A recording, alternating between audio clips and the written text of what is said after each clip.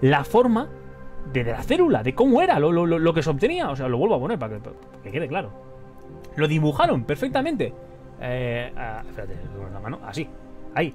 Dibujaron, fijaros cómo lo dibujaron. Quiero que es. mm, Hacer una puta foto mental de esto. Núcleo rojo y alrededor del núcleo que hay. Una especie de. ¿No? Una especie de, de cositas así remezcladas.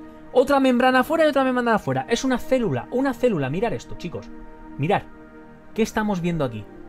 núcleo rojo, rodeado de...